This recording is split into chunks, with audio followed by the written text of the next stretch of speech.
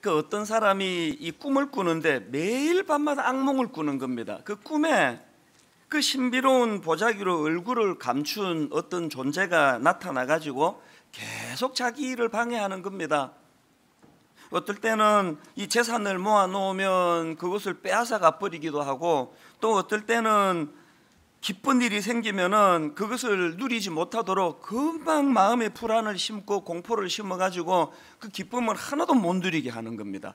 또 그런가 하면은 어떨 때는 이제 배가 고파 가지고 음식을 먹으려고 하면은 그 음식을 빼앗아 가 버리기도 하고 또 잠을 자려고 하면은 평안을 빼앗아서 잠을 못 자게 하고 계속 그냥 꿈마다 나타나 가지고 집요하게 계속 그 자기를 괴롭히는 겁니다. 아, 세상에서 이 명성을 얻으려는 순간에 와가지고 꿈이지만 너무너무 기뻐하고 있는데 바로 그 순간에 그 보자기로 얼굴을 감춘 그 존재가 나타나가지고 음해하고 없는 말을 퍼뜨리고 그러면서 이 나쁜 평판을 그냥 만들어가지고 또 물거품이 되게 만들고 이런 일이 이제 계속 반복이 되는 겁니다. 어느 날에는 이제 결혼식을 올리는 꿈을 꾸었는데요. 그 사랑하는 신부의 손을 잡고 이 결혼 서약을 하려고 하는데 그 보자기로 얼굴을 감춘 존재가 또 나타난 겁니다. 그러면서 소리치기를 이 결혼은 이루어질 수 없다. 이게 꿈이지만 너무 이게 견딜 수가 없어가지고 이제 그 사람이 이렇게 소리를 친 겁니다. 도대체 너는 누구냐? 그러면서 이제 보자기로 그 얼굴을 가진 그 형체를 이렇게 보자기를 벗겨 버렸더니 놀라운 일이 벌어진 거예요. 그 감추어진 얼굴이 다름 아닌 자기 얼굴이더라는 거예요. 제가 최근에 어느 목사님의 설교를 듣다가 이 예화를 제가 듣게 됐는데요. 이 부흥을 지금 준비하고 또 책을 읽고 자료를 모으고 하는 그런 입장이다가 보니까 아, 이 이야기가 제게 너무나 강력하게 이게 맺혀 가지고요. 이 부흥이라는 두 단어하고 이 보자기로 형체를 가린 그 사람이 바로 자기 자신이라는 이게 매치가 되니까 오래 이 장면이 이, 이 이야기가 자꾸 머리 떠오르는 겁니다. 사실 여러분 이 세상살이가 힘들지 않습니까? 환경이 지금 너무 어렵고 경제가 안 풀리고 더군다나 대인관계 때문에 너무너무 이상한 사람들이 주변에 많으니까 이 관계 어려움 때문에 그렇게 호소하는 분들이 많지만요. 그러나 여러분 이 형체를 알 수 없는 보자기로 그 자기 얼굴을 감춘 그 존재는 다름 아닌 자기 자신이라고 하는 그 이야기가 들려주는 것처럼 결정적으로 내 인생을 방해하는 건 외부에 있지 않고 그게 나 자신이라는 겁니다. 저는 항상 그 그런 생각을 하는데요. 누가 저를 망하게 만들겠습니까? 아무도 없습니다. 저를 망하게 하는 유일한 존재는 저 자신 아닙니까? 우리 가정을 깨뜨리는 존재가 외부의 여러 요인에서도 찾을 수 있지만 궁극적으로 요인은 바로 나 자신에게서 발견되어지는 것. 저는 그 보자기 이야기를 듣고 난 이후로 요즘에 우리 청년들이 이 부흥과 관련해 가지고 이제 자주 부르는 그 찬양 가사 하나가 머릿속에 이렇게 불쑥 들어, 들어오더라고요. 주의 꿈을 안고 일어나리라. 선한 능력으로 일어나리라. 이 땅의 부흥과 회복은 바로 나로부터 시작되리. 주의 꿈을 안고 일어나리라 선한 능력으로 일어나리라 이 땅의 부흥과 회복은 바로 나로부터 시작되리 여러분 이제 우리가 이 부흥에 관한 설교를 이제 몇 주 동안 들으실 동안에 내내 이 찬양 가사를 기억하셔야 됩니다. 주의 꿈을 안고 일어나야 되고요. 선한 능력으로 일어나야 되는데 그 부흥과 회복은 다른 그 무엇으로서가 아니라 나 자신부터 시작이 되는 거예요. 우리가 너무너무 이제 한국 교회 안에 참 슬픈 그 현상이 뭐냐? 이 비관주의. 그뭐 계속 말만 하면 한국 교회는 안 된다. 우리 교회는 어렵다. 우리 교회는 부흥이 안 된다. 이런 말들을 대내, 대내고 있지만 진짜 안 되는 것은요. 자기를 돌보지 않고 남들만 보는 태도 아닙니까?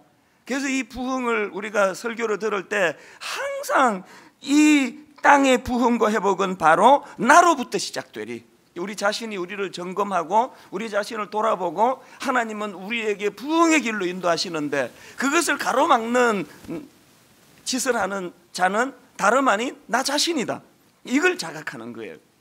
여러분 우리가 사명과 관련해서 잘 아는 이사야 6장 8절 말씀도 마찬가지 아닙니까? 내가 또 주의 목소리를 들으니 주께서 이르시되 내가 누구를 보내며 누가 우리를 위하여 갈고 하시니 그때에 내가 이르되 내가 여기 있나이다 나를 보내소서 하였더니 뭐 사명과 관련해서 이 구절을 모르는 분 아마 거의 없을 거예요. 굉장히 유명하고 또 중요한 말씀인데 여러분 여기서 중요한 게 뭔지 아십니까? 내가 여기 있나이다 나를 보내소서 이 8절 말씀이 있기 바로 전에 무슨 말씀이 전제가 되느냐 보니까요. 바로 그 앞에 나오는 이사야 6장 5절을 보십시오. 그때에 내가 말하되 화로다 나여 망하게 되었도다. 여러분 지금 하나님께서는 내가 여기 있나이다 나를 보내소서 이런 인생에 확신이 있는 사람은 얼마나 행복하겠습니까? 자기 인생에 꿈이 있고 인생의 목표가 있고 내가 어디로 가야 되고 뭘 하며 살아야 되는지를 분명하게 아는 이사야 6장 8절 이 말씀이 가능하기 위해서는 이 말씀의 바로 앞에 나오는 전제가 뭐라고요? 화로다 나여 망하게 되었도다. 가면 덮어 쓰고 내 인생길을 가로막는 그 존재는 다름 아닌 나 자신이다. 이걸 자각하는 사람만이 사명을 깨달을 수 있다는 이야기 아닙니까? 로마서 8장은요. 성경 가운데 그 보석이다 이렇게 말하는 학자들이 있고 보석으로 치면 이 가운데 그 다이아몬드 가운데에 있는 그 다이아몬드에 해당된다 이렇게까지 말하는 분이 있을 정도로 로마서 8장은 성경 중에 그 복음의 액기스를 담고 있는 그런 귀한 말씀인데 여러분 로마서 8장에 나오기 위해서는 바로 그 앞에 나오는 로마서 7장에서의 그 사도 바울의 처절한 자기 인식 오호라 나는 곤고한 사람이로다 이 사망의 몸에서 누가 나를 건져내랴 자기 자신에 대해 이렇게 처절하게 절망하고 처절하게 고뇌하는 이 아픔이 바울에게 있었기 때문에 그래서 전적인 복음만 의지하는 로마서 8장에 그 승리의 아름다운 말씀이 나오게 된 거 아닙니까? 그 저는 이번 그 부흥 시리즈를 설교하는 내내 하나님 앞에 제가 사모하는 것은 아버지 제가 이 말씀을 준비하는 동안에 성도들에게 전하기 위한 것이 아니라 이 말씀 준비하는 과정에 제 심령의 부흥을 허락하여 주시옵소서. 아버지 목사인 제 저만 바뀌면 분당 우리 교회는 부흥이 됩니다. 제가 문제입니다. 누구를 탓하는 것이 아니라 하나님이 말씀을 준비하는 과정에서 진실로 종이 이 부흥을 방해하지 않는 그런 얼굴을 수건으로 가리고 나타나는 그런 존재가 아닌 하나님의 뜻을 잘 살펴서 분당 우리 교회가 참으로 부흥을 맛보는 그런 아름다운 도구로 쓰임 받기를 원합니다. 오늘 이런 맥락에서 이제 이 부흥에 대한 두 번째 이제 포인트를 좀 나누어 보려고 하는데요. 이제 오늘은 그 성경에 나오는 인물인 이 야곱이라는 인물을 좀 살펴보면서 이제 야곱이 경험했던 이 부흥, 이 회복, 이걸 이제 우리도 좀 꿈꾸기를 원하는데요. 야곱을 제가 이렇게 쭉 살펴보니까 참 부러운 게요. 그 야곱은 뭐, 뭐 다 아시지만 그렇게 막 훌륭한 인격을 가진 사람은 아니지 않습니까? 그래서 성경에서 참 친숙함을 느끼게 만드는 그런 인물인데 그런데 야곱이 귀한 것은요. 고비 고비마다 야곱은 부흥을 경험합니다. 제일 먼저 야곱이 부흥을 경험하는 그 사건이 창세기 28장에 나오는 이 베델에서의 부흥 사건입니다.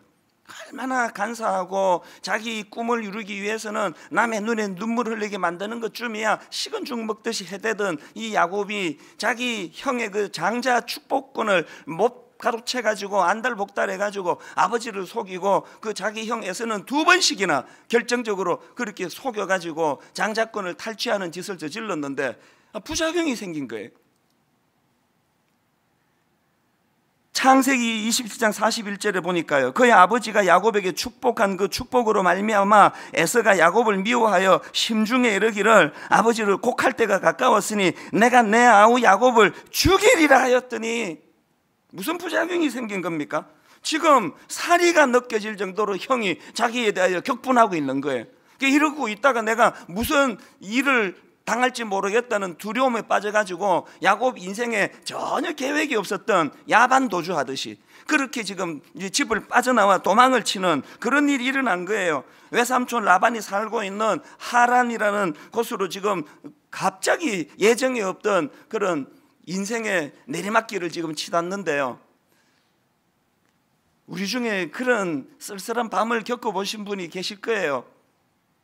예정에 없던 그런 도피 생활을 시작하면서 밤이 되니까 온 사방이 짐승 소리가 들리고 몸 하나 이 피할 곳이 없는데 그리고 고독하기 이를 데 없는데 그 절망적인 야반 도주하던 그날 밤 돌을 베개하고 누워 있는데 하나님이 그를 만나 주십니다. 그를 찾아 주시고 그에게 많은 축복의 말씀을 주시는데요. 특히 창세기 28장 15절에 보니까 이런 말씀을 하십니다. 내가 너와 함께 있어 내가 어디로 가든지 너를 지키며 너를 이끌어 이 땅으로 돌아오게 할지라 내가 내게 허락한 것을 다 이루기까지 너를 떠나지 아니하리라 하신지라 이 큰 은혜를 그가 경험하고 그날 그가 부흥을 경험하는 겁니다. 이게 야곱이 경험한 첫 번째 부흥인데요. 그런가 하면은 야곱이 두 번째로 경험한 부흥은 창세기 32장에 나오는 야복 나루에서 경험한 부흥인데요. 이 사건 역시도 야곱이 위기 중에 경험했던 사건입니다. 이제 앞에서 야곱이 베델에서 도피하다가 큰 부흥을 경험하고 넉넉한 또 든든한 마음을 가지고 이제 하란에 있는 외삼촌 라반의 집으로 가는데요. 거기서 20년 동안 기거하게 됩니다. 그 과정에서 야곱이 많은 은혜를 누려 가지고요. 많은 재물과 큰 가족을 이루게 되는데요. 이제 20년 만에 다시 자기 고향으로 이제 귀향길에 오릅니다. 그런데 라반의 외삼촌 라반의 집을 떠나 귀향길에 오르는 야곱에게 근심이 근심거리가 하나 있었는데요. 두려움이 하나 있었는데 형 에서를 대면하는 일이에요. 과연 형이 나를 용서해 주실까? 여전히 나를 죽이려고 달려드는 건 아닐까? 얼마나 그것이 두려웠던지 야곱은 홀로 야복 나루에서 밤을 새워 기도합니다. 그 밤에 천사와 더불어 씨름을 하며 이 환도뼈가 위골되면서까지 간절하게 기도하는데 그날 밤에 야곱이 큰 부흥을 경험합니다. 그 감격이 얼마나 컸던지 창세기 32장 30절에서 야곱이 이런 표현을 씁니다. 그러므로 야곱이 그곳 이름을 브니엘이라 하였으니 그가 이르기를 내가 하나님과 대면하여 보았으나 내 생명이 보존되었다 함이더라. 이 큰 부흥을 경험하고 이제 형 에서를 대면하는데 하나님이 그 마음을 다 녹여 주신 거 아닙니까? 그래서 생각지도 못한 극적인 화해가 이루어집니다. 창세기 33장 4절 에스가 달려와서 그를 맞이하여 안고 목을 어긋 맞추어 그와 입 맞추고 서로 운이라 야곱 일생 중에 가장 기뻤던 날일 거예요. 이제 야곱에게 더 이상 문제가 없어진 거예요. 이제 장애물이 없습니다. 이제 고향으로 다시 돌아왔죠. 가장 인생의 근심거리를 제공했던 그 문제가 풀려졌죠. 그러면 야곱이 어떻게 해야 되는 겁니까? 창세기 28장에서 하나님과 했던 약속 다시 애굽으로 돌아가야 되는데 참 이 야곱에게 문제가 또 우리 우리 모든 인생에게 문제가요. 화장실 갈 때 마음 다르고 갔다 올 때 마음이 다르다는 거 이게 한국 사람에게만 해당되는 게 아닌가 봐요. 하나님과의 약속을 까마득하게 다 잊어버리고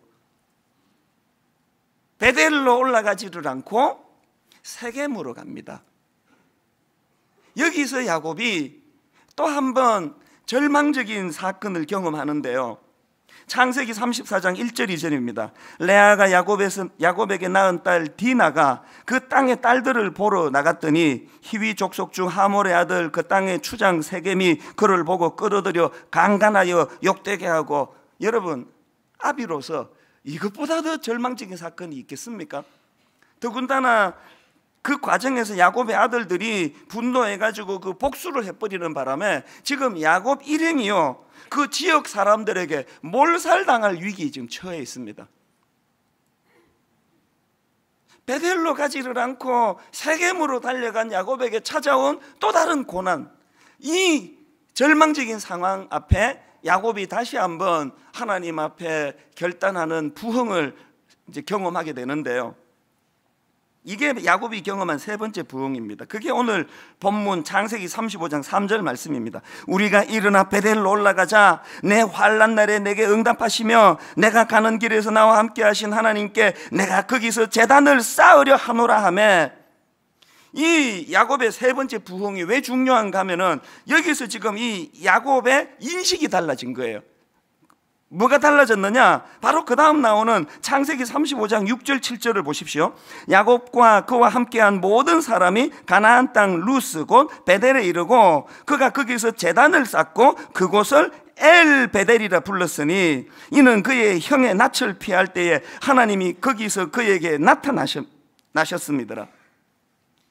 이 베델은 원어로 보면 하나님의 집이란 뜻이에요. 그런데 여러분 거기다가 하나님을 뜻하는 엘을 야곱이 더 덧붙입니다. 베델이 하나님의 집이라는 뜻이라면 엘 베델은 그 하나님이 하나님의 집에 거하신 하나님. 베델과 엘 베델의 차이를 아시겠죠?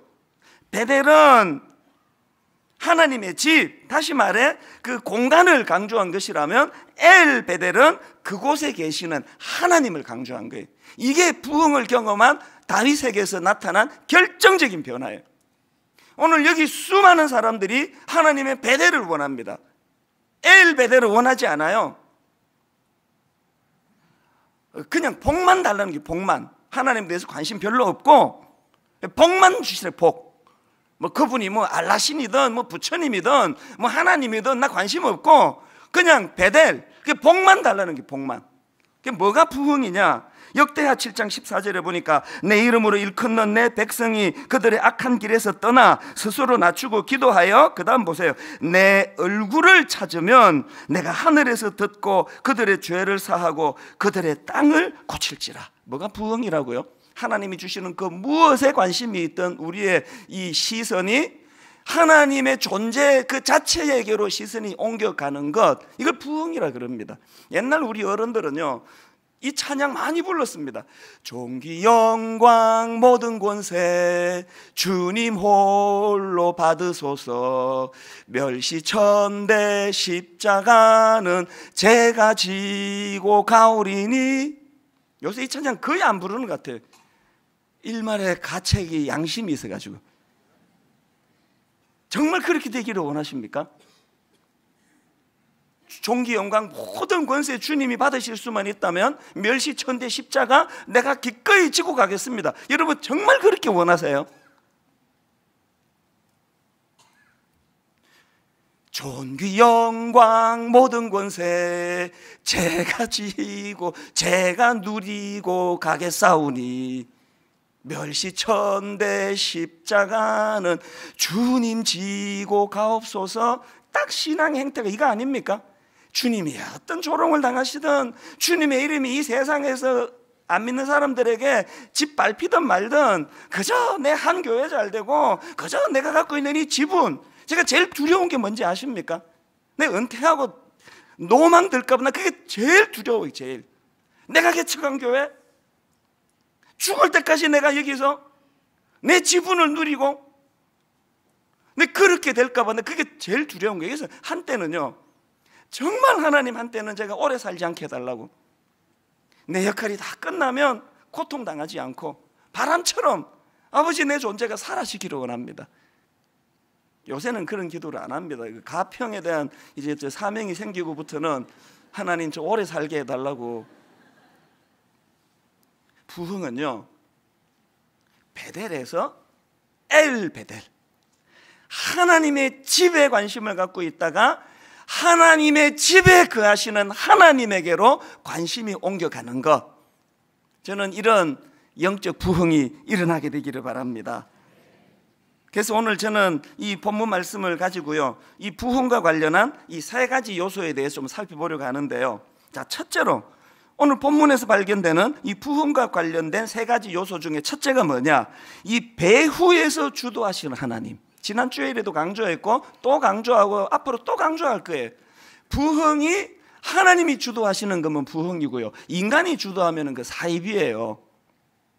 여러분 제가 앞에서 창세기 35장 3절에서 야곱이 우리가 일어나 베델로 올라가자 이렇게 선언했다고 말씀드렸는데 그 야곱의 선언이 있기 바로 전에 뭔 일이 있었나 그 앞에 1절을 한번 보십시오 하나님이 야곱에게 이르시되 일어나 베델로 올라가서 거기 거주하며 내가 내 형 에서의 낯을 피하여 도망하던 때에 내게 나타났던 하나님께 거기서 재단을 쌓으라 하신지라 야곱이 일어나 베델로 올라가자라고 선언하기 전에 선행하는 하나님의 개입하심, 일하심, 하나님의 주도하심 이게 일절에 나와 있다는 거예요.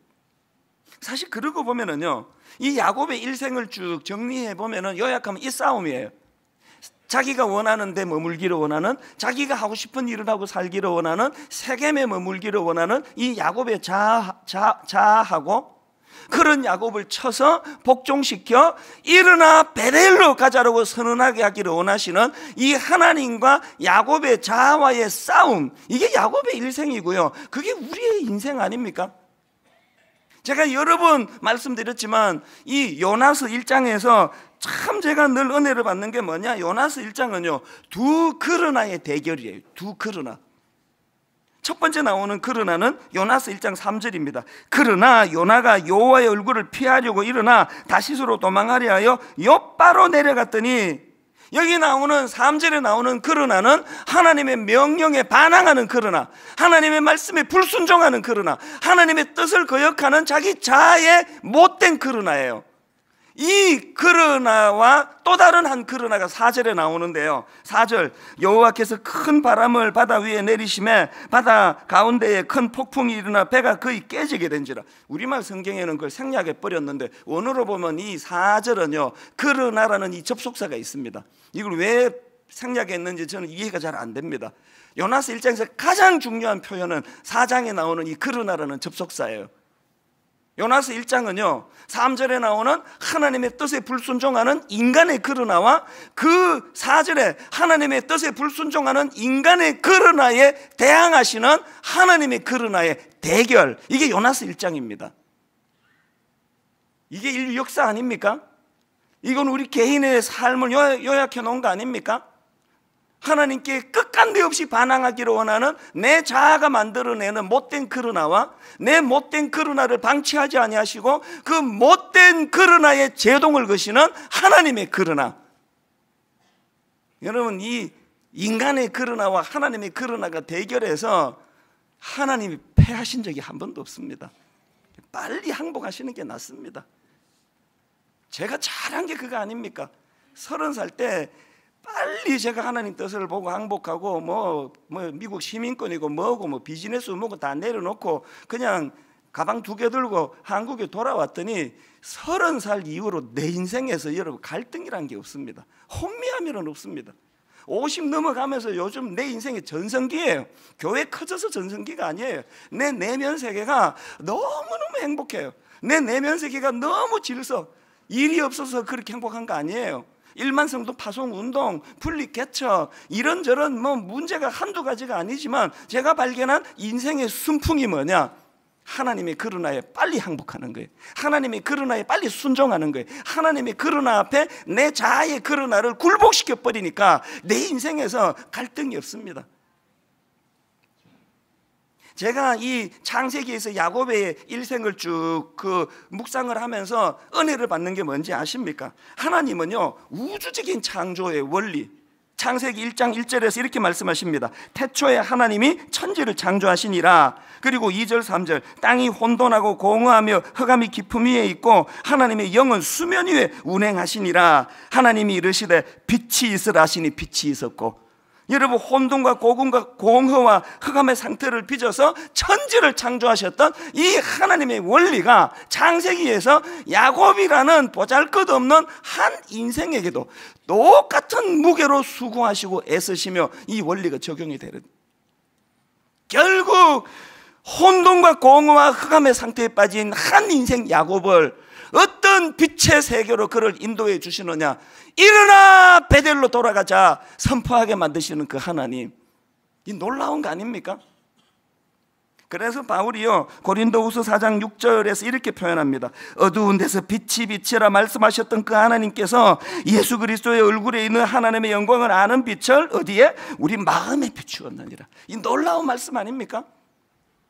이 혼돈과 공허와 허감에 있던 이 천지를 말씀으로 질서의 세계로 창조하신 그 하나님이 그 정성, 그 원리를 가지고 이 혼돈과 공허와 흑암의 길을 걸어가고 있는 혼미한 야곱 한 사람을 위하여 바울 한 사람을 위하여 이 찬수라는 이 보잘것 없는 한 사람을 위하여 하나님이 들이시는 이 수고 그 정성 이 같은 원리들은 같은 원리 그래서 바울이 바로 그 다음 7절에 어, 이렇게 이야기합니다. 우리가 이 보배를 질그릇에 가졌으니 이는 심히 큰 능력은 하나님께 있고 우리에게 있지 아니함을 알게 하려 함이라. 뭐가 부흥인지 아십니까?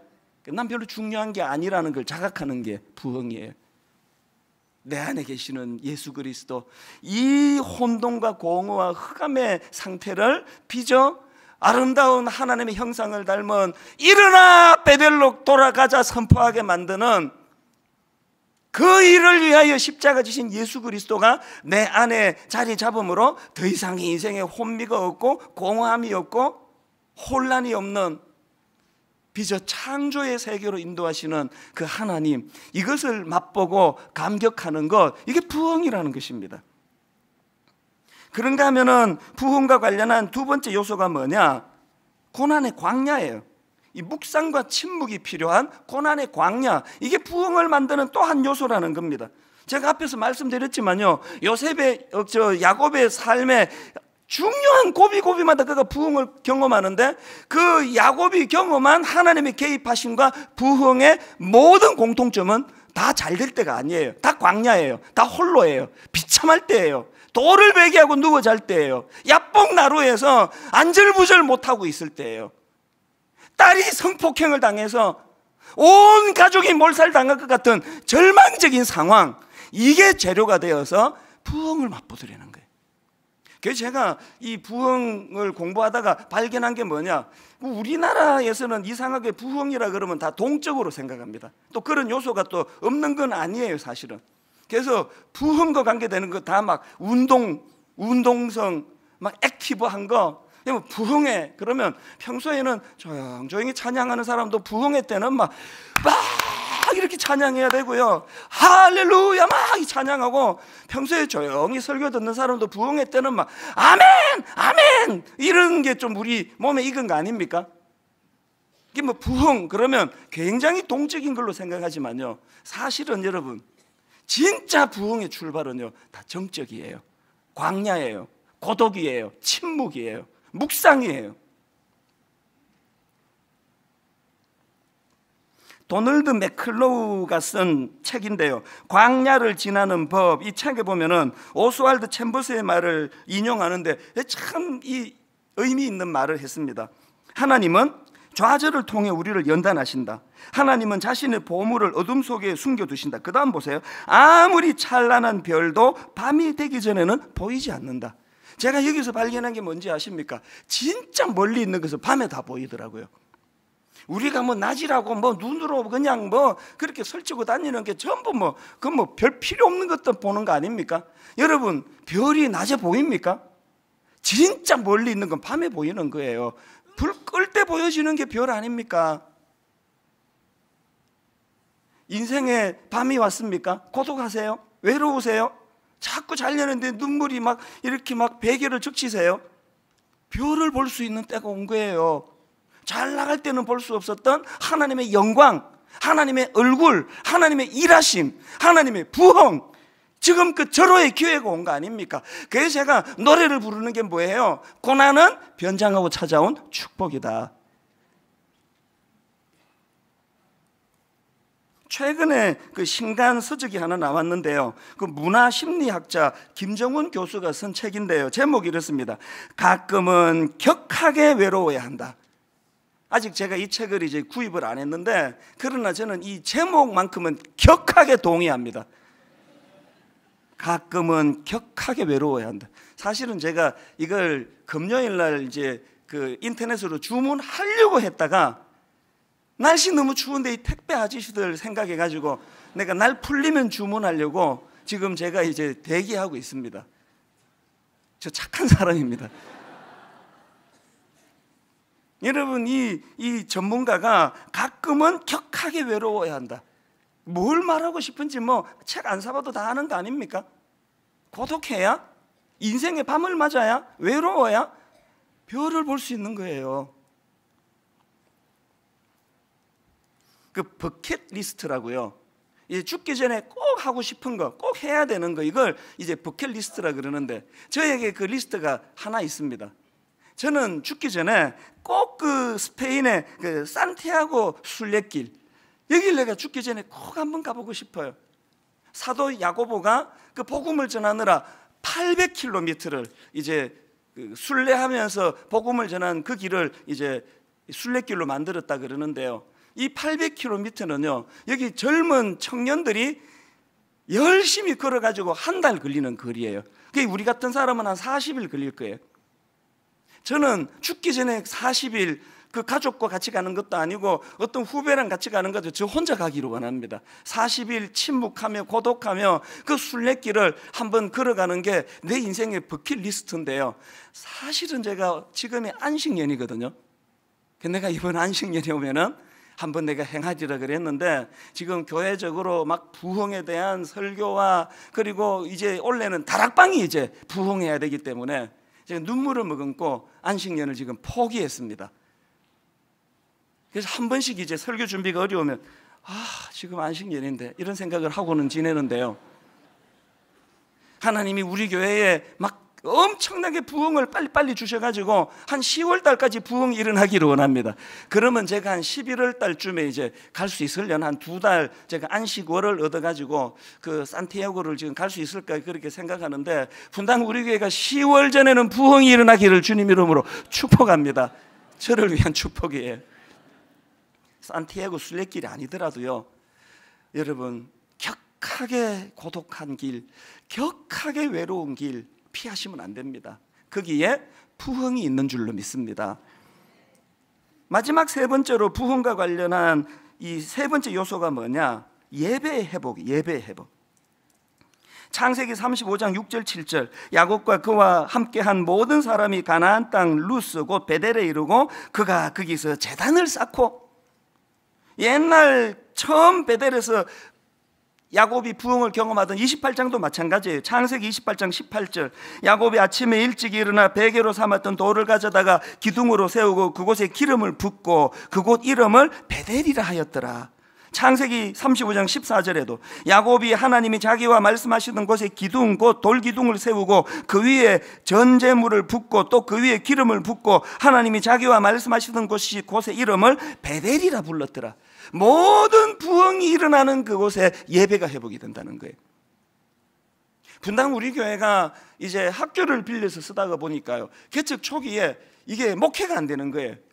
주중에 학교가 공간을 다 쓰니까 뭐 모임도 안 되고 행사도 못 하고 지금 모태 신앙인으로 이 달력의 빨간 건 다 교회 행사였거든요. 제가 학교 교회 청소년 시절에는 3월 1일 등반 대회 4월 5일 이웃교회와 친선 탁구대회 5월 5일 또 무슨 대회 체육대회 그렇게 다 했는데 학교를 빌렸으니까 아무것도 할 수가 없는 거예요 사실 이 사람들이요 오해해서 은혜를 많이 받는데요 제가 이제 학교를 빌려서 목회를 하니까 자꾸 사람들이 야, 이 찬수 목사가 의식이 있어가지고 근무를 안 하고 학교를 빌렸다는데 그게 다 틀린 말이에요. 의식이 있어서 한 게 아니고요. 갈 데가 없어서 왔습니다. 갈 데가 없어서. 저 건물을 안 짓겠다는 말 평생에 한 적이 없고요. 앞으로도 뭐 건물 지을 일은 없을 것 같지만 굳이 뭐 안 짓겠다는 말은 안 하고 싶은 거예요. 그러나 갈 데가 없어서 학교로 와서 있어 보니까 이 목회가 너무 어려운 거예요. 그래서 제가 어떻게 합니까? 위기가 오니까 하나님께 매달린 게 하나님 우리는 학교를 빌렸으니까 행사도 못하고 단합대회도 못하고 체육대회도 못하고 그래서 하나님 할 수 없이 예배에 목숨 걸겠습니다. 예배에 모든 걸 걸겠습니다. 모든 에너지를 예배에다 걸겠습니다. 뭣도 모르고 그렇게 했는데요. 이게 하나님 보시기에 이 기쁘신 일인가 봐요.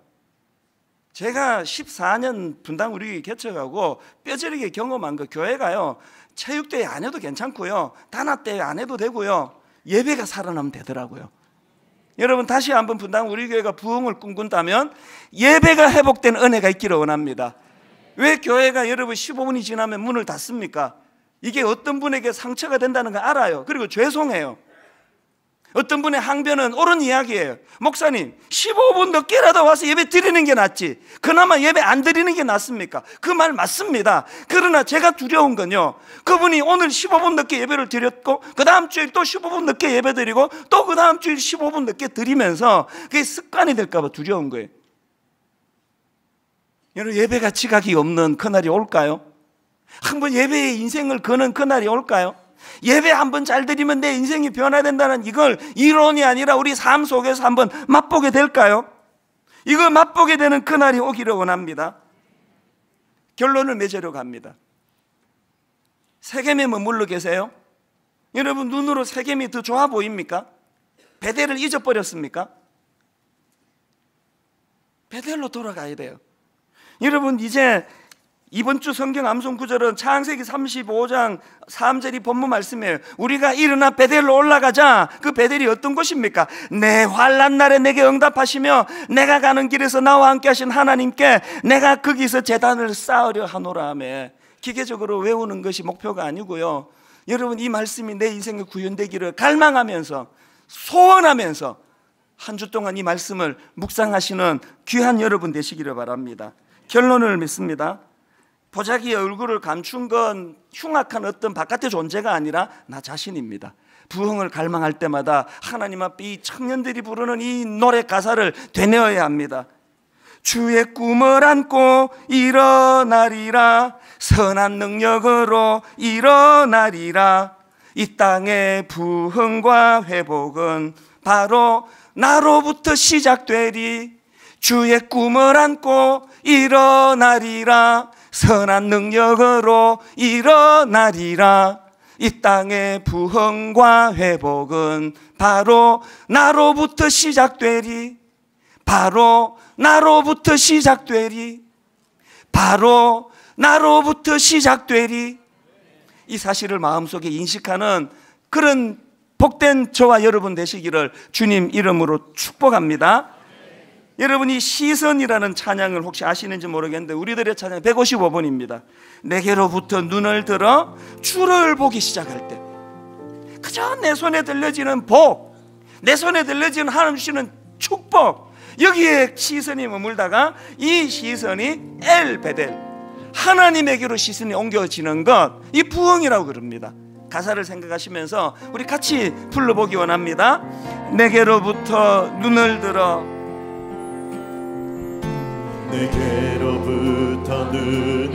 주를 보기 시작할 때 주의 일을 보겠네. 주의 일을 보겠네. 내 작은 마음 돌이키사 야곱처럼 하늘의 꿈 꾸게 하네. 주님을 볼 때. 여러분이 꿈을 가지고 선포합니다. 모든 시선을 주님께 드리고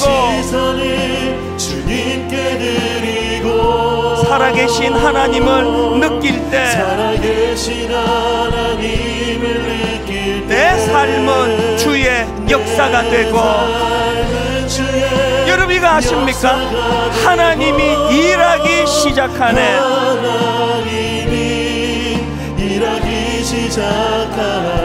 성령이 나를 변화시켜. 성령이 나를 변화시켜 모든 두려움 사라질 때 주의 때 일을 보겠네. 광야와 같이 황폐한 땅 한가운데서 주님 마음 알게 되리. 주님을 볼때 주님을 볼때 모든 시선을 주님께 드리고 전능하신 하나님을 느낄 때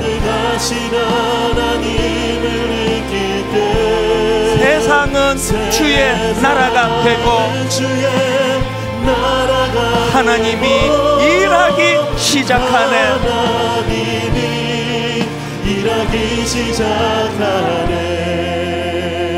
여러분 이 찬양 한 번 더 부르기 전에 모든 부흥이 나로부터 시작된다면 깊이 자기를 돌아보셔야 돼 여러분 혹시 지금 세겜에 머물러 있는 거 아니십니까? 지금 계속 슬프고 비극적인 일이 일어나고 있는 건 내가 지금 세겜에 머물러 있어 그런 거 아닙니까? 여러분 딸에게 여러분 아들에게 가슴 아픈 일이 일어났습니까? 가정에 문제가 생겼습니까? 일이 안 풀리세요? 하나님이 흔들어 대시는 부흥을 촉구하는 메시지로 들어보시기를 원합니까? 빨리 베델로 돌아가셔야 돼요. 잊어버렸던 내 은혜 받았던 그 기쁨, 그 절망의 순간에 어떤 은혜로 나를 보듬어 주셨던가 그 베델로 돌아가야 돼. 베델을 기억해야 됩니다. 다시 한번 이 찬양 부르실 동안에 아버지 내 시선이 주님에게로 옮겨가기를 원합니다. 내게로부터 눈을 들어 주를 보기 시작할 때 내게로부터 눈을 들어 주를 보기 시작 주의 일을 보겠네. 주의 일을 보겠네 내 작은 마음 돌이키사 내 작은 마음도 하늘의 꿈 꾸게 하네. 언제 주님을 볼때 하네. 주님을 볼 이렇게 선포합니다. 모든 시선을 주님께 드리고 주님께 드리고 살아계신 하나님을 느낄 때 살아계신 하나님을 느낄 때 내 삶은 주의 역사가 되고 하나님이 일하기 시작하네. 내 힘으로 할 수 있는 거 아닙니다. 성령님, 성령이 나를 변화시켜 일로 두려우세요? 모든 두려움 사라질 때 주의 일을 보겠네. 황폐한 땅 한가운데서 무엇이 부흥입니까? 주님 마음 알게 되리. 주님을 볼때 주님을 볼 때 모든 시선을 주님께 드리고 전능하신 하나님을 느낄 때 비로소 세상은 주의 나라가 되고 하나님이 일하기 시작하네. 우리 다 자리에서 일어나셔서 성령이 나를 변화시켜 모든 두려움 사라질 때 주의 일을 보겠네. 황폐한 땅 한가운데서 가운데서 주님 마음 알게 돼. 주님을 볼때 주님을 볼 때 모든 시선을 주님께 드리고 전능하신 하나님을 느낄 때 세상은 주의 나라가 되고 하나님이 일하기 시작하네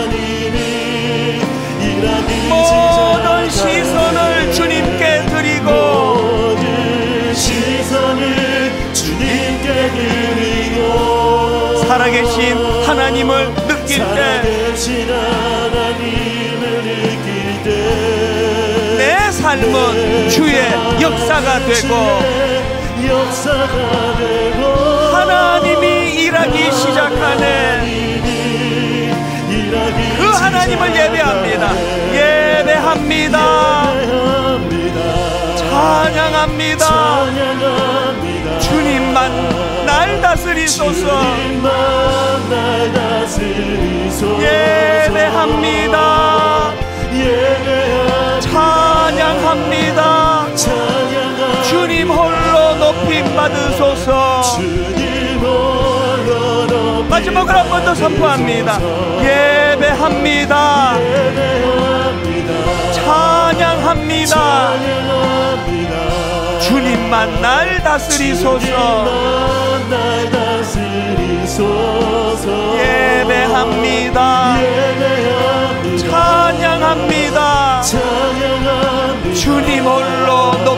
받으소서. 주님 홀로 높임 받으소서 주님 홀로 높임 받으소서. 주님 홀로 높임 받으소서 주님 홀로 높임 받으소서. 주님 홀로 높임 받으소서.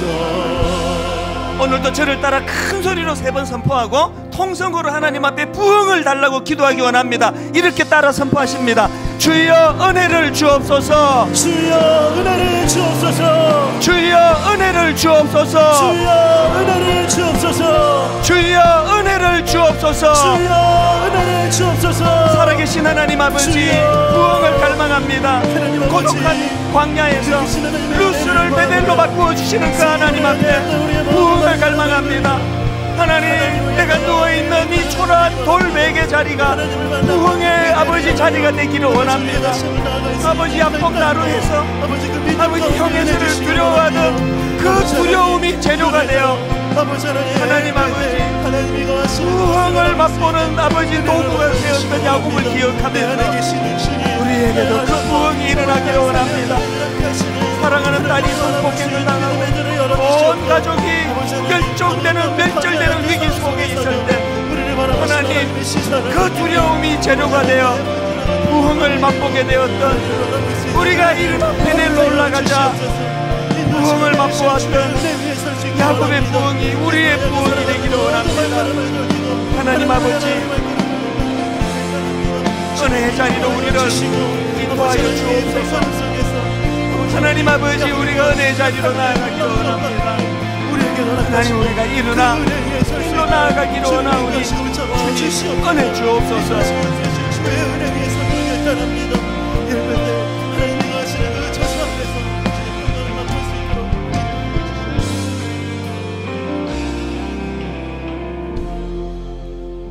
우리가 일어나 베델로 올라가자. 내 환란 날에 내게 응답하시며 내가 가는 길에서 나와 함께 하신 하나님께 내가 거기서 재단을 쌓으려 하노라 하매 하나님 이 부흥을 저희들에게도 허락하여 주옵소서 오래 잊고 있었던 가장 아프고 가장 상했던 그 절망적인 상황에 나를 만나 주셨던 내 인생의 내 영적인 추억 베델이 떠올려지게 하여 주시고 아버지 그 하나님의 은혜를 구하는 영적인 베델로 올라가는 부흥을 저희들에게 허락하여 주시옵소서.